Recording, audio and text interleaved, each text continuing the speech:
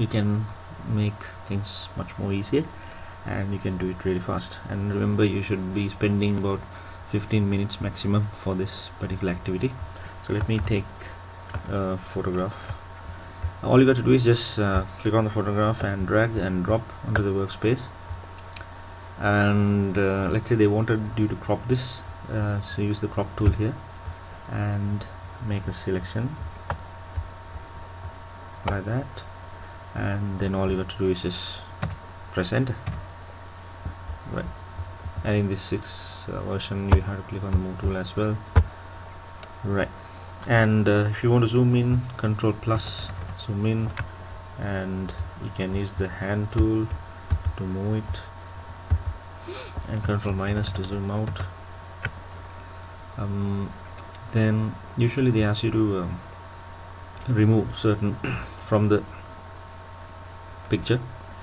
Uh, in that case you shouldn't crop. When they say alter you shouldn't crop the image. Simply you have to remove the object. For example let's say we wanted to remove the ball. Uh, so what I can do is I can simply um, use the stamp tool the clone stamp tool. Control the brush using the curly brackets left right curly brackets and make sure it's a feather brush. Okay. And then increase size so that it fits the ball. And to copy you press alt and then click release alt. And press it on. Just do it several times. Like that.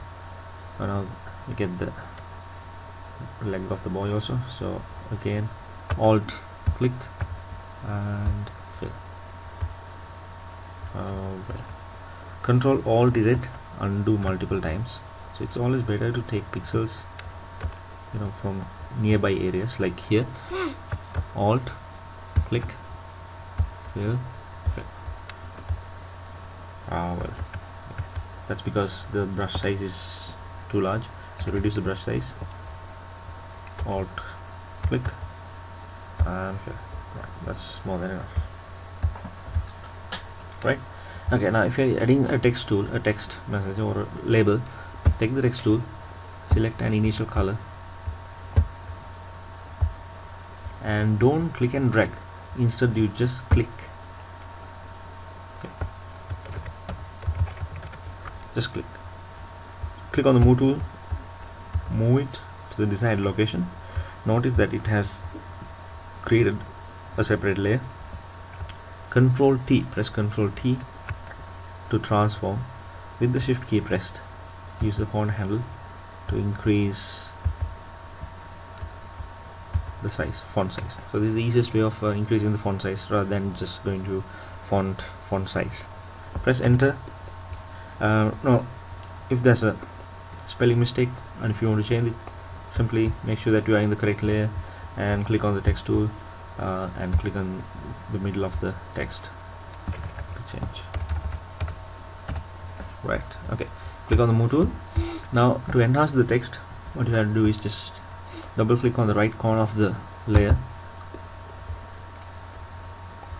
And just use a drop shadow. Click on the middle of the option so that you can change the options here increase opacity distance and also try a stroke. Click on the middle and change the color. Alright so that's more than enough. And if you want to change the uh, fill color select color overlay. That's the other easy way of changing the font color. Right so make sure that you use a proper font and uh, usually they ask for sans serif fonts which do not have any you know uh, small parts that come out from the uh, text like in like here right?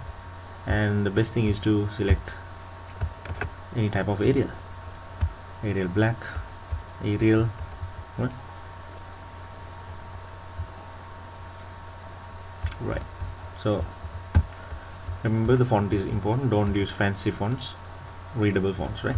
And if they have asked you to insert um, a particular title make sure that the title is exactly the same title with the exact case. That's very important. Right. Uh, if it is a logo remember to use clip arts not a photograph for the uh, picture and add a background. Background of course you can edit from here or even in word. Now when you take this to word take a snip of this. Let's zoom out. Snipping tool. Click on new. Select the area. And then just close it without saving because it goes to the clipboard. Now you go to word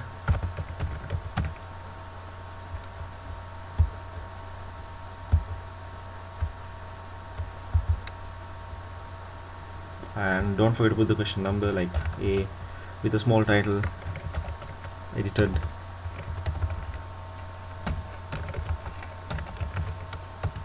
Image control V. And if this is a logo of course you can reduce it further and add a border. Small border. Uh, if it is a graphic you can increase it further. Right. And your details should go in the footer.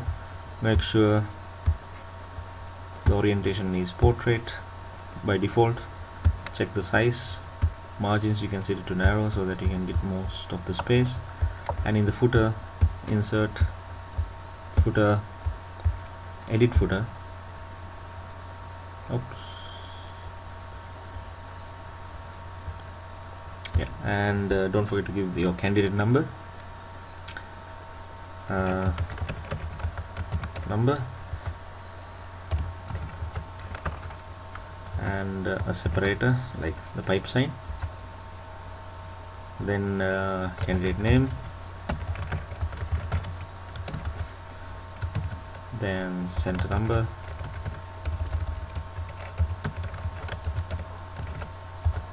followed by center name. Those are the more uh, the important details you should have in the footer. And before that you should have the task number AG1 right? Okay no need to uh, put the labels candidate number candidate name just uh, enter the details. And inside the footer make sure that you have enough space in the margin so that you can make sure that the footer gets printed without any problem right and finally you check print preview and then you print. Okay I hope I addressed uh, all the main parts of uh, AG graphics. And remember uh, they usually ask you to insert the graphic and then identify the changes. Identify the changes required. Then of course you may have to use the text boxes and arrows that's in word. Okay. And when you identify changes you shouldn't suggest the changes. For example the you can say the picture is too dark and it's not clear the text is not uh, standing out in the background. So do not suggest the changes if they ask you to identify the changes. Identify the things to change identify the areas to change right? And sometimes they ask you to identify what you did. How you enhance the image. So they should go as bullets if they don't ask you to use text boxes or if they don't ask you to identify on the uh, image. You can simply use bullets and numbering okay. Right. So remember there can be um, and uh, there can be a writing part in this uh, image editing question uh, which is usually done under the picture that you edit. And also remember if you are using logos to use clip arts. Right? Sometimes they might ask you to combine two pictures. Let me take another picture here. All you got to do is just uh, drag and drop. Okay in Photoshop CS6 it comes here because I dragged onto the dragged it onto the middle.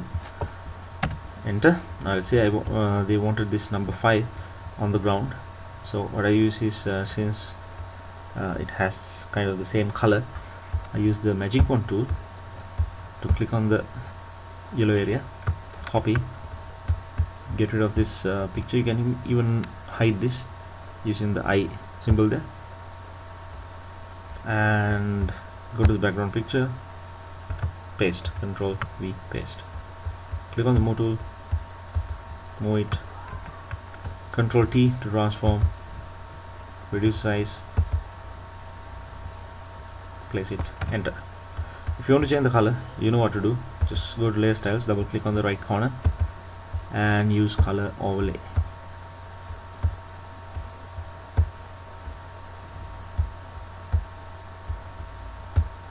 Okay simple as that.